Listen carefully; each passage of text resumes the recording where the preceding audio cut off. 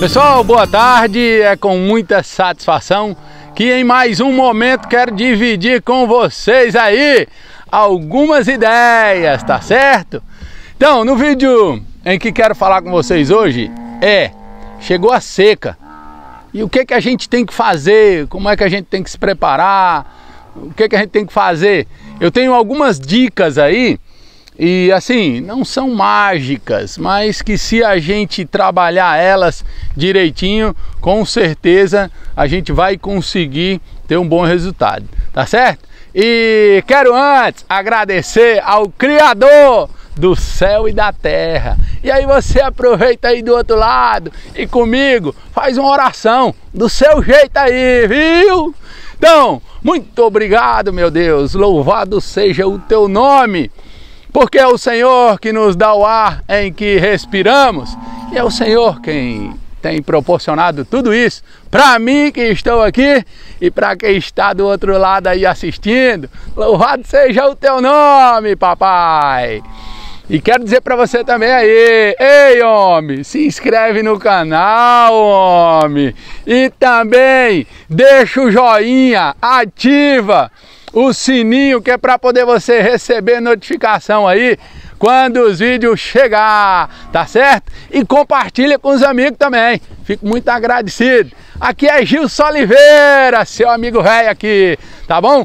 Então vamos, vamos lá algumas ideias em que quero dividir aí para aprender um pouquinho daqui junto com você aí do outro lado. Olha pessoal, uma dica muito importante e que quero compartilhar é que a primeira coisa que você tem que avaliar na sua região, para você que já está no ramo, enfim, é, tem, você vai aproveitar outras dicas em que vou falar aqui. Agora, para você que de repente quer entrar no ramo da pecuária, do gado, enfim, porque hoje não tem segredo. O sítio hoje é, pode ser para um cara que trabalha num banco, outro que tem um escritório e assim é, há todas essas possibilidades, tá certo? Aquela ideia de que você precisava nascer no campo, crescer no campo para poder você conseguir é, se sair bem ali, essa ideia não existe mais. Hoje, é, qualquer um Pode, desde que trabalhe, desde que estude bem né, o que ele vai fazer e com certeza é, vai obter resultado. Então, a primeira dica é: você tem que saber a área de terra que você tem e ver se essa área vai comportar o seu gado de janeiro a janeiro. Porque aqui é, em, em Rondônia, o período de seca é pequeno é um período que, é, quando chega, é três meses sem chuva, mas é, geralmente chove é, nesse intervalo. Então não dá para mim é, repassar essa média a nível de Brasil, porque eu sei que no Nordeste a, a situação lá é totalmente diferente. Então, qual, qual é a quantidade aproximada? E esses levantamentos têm, se você quiser levantar para ver ali ano a ano como é que tá, no naqueles órgãos que medem as chuvas, né? A, pluviometria, aquele negócio lá, não sabe? É, é, desse jeito aí. Então, então isso é importante. E o período em que essas chuvas vão ser é, chegadas aí na sua região. Então isso é primordial para poder você, é, tanto nesse período que está chovendo, quanto no que vai ficar sem chover, para saber se a quantidade de pasto, de matéria seca, porque o capim vai secar, vocês estão vendo aí, ó, que o capim tá tudo seco, tudo amarelo, né, ó. Aqui ao redor tudo, ó, tá tudo seco. Logo agora veio um frio tremendo, aí acaba de secar tudo. Então, depois de você saber mais ou menos quanto é que comporta, quantas cabeças comportam na, na sua região aí que você está, aí vem um outro passo, o gado em que você vai adaptar nessa região, porque não é todo gado que se adapta no período da seca. Por exemplo, no Nordeste, se você pegar uma, uma nelorada pura dessa, ou um gado dessa raça cimental pura, sabe? Essas cruzadas ainda que aguenta, porque já é mais rústica um pouco. Mas dependendo da raça que você pegar, se você levar para um lugar onde é, tem um longo período de seca, você vai ter problema também. Então isso tem que ser analisado em todos os sentidos. A outra coisa, pessoal, é, a mineralização do seu gado é muito importante, tá? Então isso entra é, em alguns alguns critérios em que eles são mudados no decorrer do ano. Ou seja, hoje você consegue um, um sal mineral para o período das águas, que é um, um produto, e aí você, quando chegar no período da seca, você pode dar um outro produto para o seu gado, porque vai dar um suporte melhor para essa vacada. Ó, vocês veem aí, não faz muito tempo que o capim secou, lógico, né? Eu não quero falar a nível é, de Brasil, né? Porque se a gente for comparar, tipo assim, o gado daqui com o do Nordeste, aí eu acho que a desigualdade, assim, não é do gado que eu sei lá, eu sei que lá tem gado melhor do que esse, mas é assim, é a quantidade de gado em cima da terra, tá certo? A ideia é essa. Então, seguindo as ideias aí, é, um outro detalhe que você tem que fazer na sua propriedade, isso é primordial, primordial, é você ter várias repartições, isso ajuda muito, tá certo? Se você tem uma propriedade, por exemplo, que você cria 50 cabeças de gado em dois pastos, né? A sua terra está cortada no meio. Você joga para um lado, joga para o outro, joga para um lado, joga para o outro. Você vai conseguir ter um, uma taxa de lotação. Agora, se você esse, essa terra é, ela que é dividida em dois, você conseguir dividir ela em quatro, depois em seis e, se possível, em oito, enfim, quanto mais você dividir, lógico, eu sei que dá trabalho porque às vezes a água você não consegue ter acesso de todos os pastos à água, enfim, é, eu sei disso porque eu vivo aqui essa realidade, mas não é que você tem que fazer é, é, tantos não, mas o máximo que você puder fazer, você aproveita capim. Porque o gado tem um detalhe, e isso, até se alguém aí que, é, que tem um conhecimento desse, dessa área, né, e pode esclarecer melhor, o gado, ele passa um determinado período aqui no pasto, isso eu sei vivendo aqui.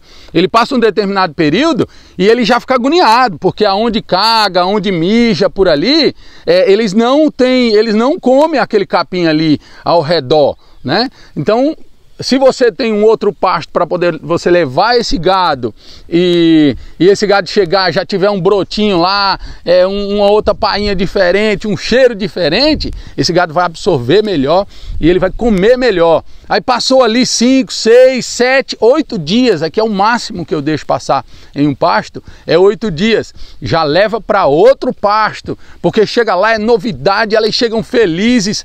Ó, elas estavam aqui e eu vim ali olhar, olhar, ver e trocá-las de pasto, e elas ficaram tudo berrando e tal. E quando eu solto aqui, elas saem doidas, catando folhinha de capim, enfim é uma felicidade imensa. Elas estão comendo algo novo, com um gostinho diferente. Quer dizer, eu acho que é, não me diz não, mas assim, pela ação dá pra gente ver é, é, que é mais ou menos assim. Então é muito importante, pessoal. Quanto mais divisão de pasto você tiver, melhor, porque o seu gado vai conseguir absorver melhor é, os nutrientes que tem no capim, vai comer melhor, sabe? Vai ficar mais à vontade no pasto. Então isso é importante também. E não esqueça, tem que ter água de qualidade, pessoal, porque é uma realidade é, o gado que bebe uma água boa e come um capim mais ou menos, vamos dizer assim, você está lá no período da seca, um período ruim, e tá, como está aqui tudo seco,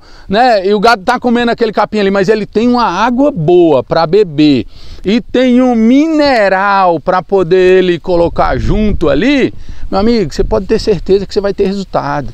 Vai dar diferença. Agora, com um detalhe também, pessoal, eu sempre falo e converso nos vídeos que eu não tenho um produto para vender para vocês, tipo, olha, eu compre tal sal mineral, compre tal proteinado, a ideia não é essa. É, seja qual for aí na sua região, faça um teste, compre um produto, veja se esse produto é qualificado, se é bom, lógico, né? É, é, não é qualquer produto que você tem que comprar e aí você vai dizer, ah, vai dar resultado. Não, compre um produto de qualidade e faça um teste durante seis meses para poder você ver a diferença no seu gado, quanto você vai agregar no seu plantel, numa vacada que vai pegar a cria mais cedo, numa vacada que vai desmamar um bezerro mais pesado. Então isso é fundamental. O gado no período da seca, que tem é, várias repartições no pasto e que tem uma água boa e que tem uma cocheira, menino, com um salzinho. Olha, meu filho, pode ter certeza que só não vai para frente se Deus não quiser, tá bom? Eu não quero estender demais o assunto, porque senão o vídeo fica muito longo. Mas quero mostrar um pouco para vocês aí do meu trabalho. Agora, tá eu aqui, Carolina, minha égua, não posso deixar de falar nisso, não é verdade? Ali tem uma bruaca, que é um, um um né? É, para guardar o remédio e também uma aguinha, porque nesse período seco nós tem que beber água, senão nós fica tudo lascado. E tem uma corda ali que é para nós pegar bezerro. Ei, agora aqui é um laçador rei diferente, viu? Pode acreditar, menino. Olha, se o bezerro passar perto dele devagar, olha, eu não erro um laço, pode ter certeza. Mas aí é uma verdade. Cada um na sua área, né, meu filho? Porque tem uns cabos, uns caboclos que é bom. Ontem mesmo eu tive fazendo uma visita e quero mandar um abraço especial para essa galera ré diferente. Olha, esta é o tio da eufórica, né? Tive lá no Cerrado aqui da Rondônia. Quero mandar um abraço para um cabaré, gente boa de verdade, que é Ceará. Muito gente boa, mora no meu coração. Putico, ô nego, rei show, menino. Agora, ei, ali sabe manusear um laço, viu? É, eu vi, passou correndo na frente, se ele tiver com o laço na mão. Pode ter certeza, papai, que fica dentro. Homem é bom na corda, compadre. Também quero mandar um abraço forte para Tangará, um cabaré que a gente conheceu lá, um nego diferente, não tem? Homem é bom, homem é bom de verdade. E também para um cabaré lá vizinho, como é o nome dele, o mesmo oh meu Deus, me esqueci o nome do homem, Ei, mas pensa num cabo bom também, bom no laço e com força. Então um abraço para essa galera aí, um abraço para cada um de vocês que estão assistindo os vídeos aí, muito obrigado por assistirem. Vou estar tá fazendo mais vídeos aí mostrando essa questão da seca, a gente levando o gado de um lado para o outro, mostrando para vocês como está aí, ó, na real, ó. É uma vacada aqui, ó, essa vaca aqui, número 27, ó, né, o que está aí é, é, se lambendo aí, ó. Ela vai desmamar essa bezerra aí agora, ó. Não, ó bezerra, eu vou desmamar essa bezerra agora, no final do mês, ó. E ó, não tá magra. Então, pessoal, eu tô mostrando e também tô comprovando aqui é, com vocês o que vocês estão vendo. O capim tá aí que esse gato tá comendo. É esse aqui, ó. Agora, se acabou o sal ali, mas acabou hoje, viu? O sal não falta não, nós bota para moer mesmo. Se acabou, vou já lá buscar para poder trazer e elas ficarem sempre com um capinzinho ali, uma aguinha boa para beber e um salzinho para elas ingerir. Que aí, ó, fica desse jeito aí, ó. Outra vaca que tá de bezerro novo também, ó. Essa daqui, ó, tá de bezerro, ó. Tá dando de mamar. Ah, bom, enfim, quase todas essas aqui, com exceção de, pronto, dessa cimental zona ali, ó. Aquela cimental zona ali, ela não tá dando de mamar não. Mas essa 64 aí tá, ó, tá vendo? Eu não sei se dá para ver o número. Então você vai ter resultado. O gado vai ficar bem, vai ficar um gado gordo. Vai ser um gado que vai entrar no período da seca com substância, não tem? Vitaminado, bonzinho. É, não adoece fácil, acredite, procura aí na sua região, vá lá atrás de um cabaré bom para fornecer um produto de qualidade a você, procure dividir bem a sua propriedade e pode ter certeza, meu filho, que resultado nós vamos colher junto, se Deus quiser. E eu mando um abraço para você e digo muito obrigado por assistir os vídeos desse cabaré aqui, viu?